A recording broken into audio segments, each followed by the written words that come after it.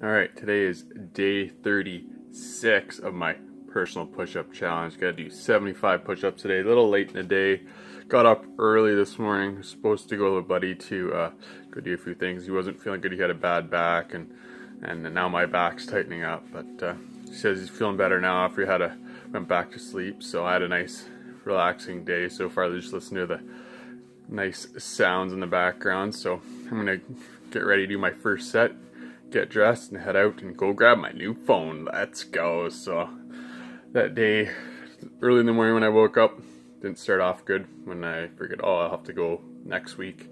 But uh, things changed after I went to, uh, well, I didn't go to bed. Well, I was kind of napping, listening to these, kind of doing meditation uh, music, and uh, it worked. So we're heading out soon, so I gotta get dressed, do my push-ups, and uh, get out of here. Let's go.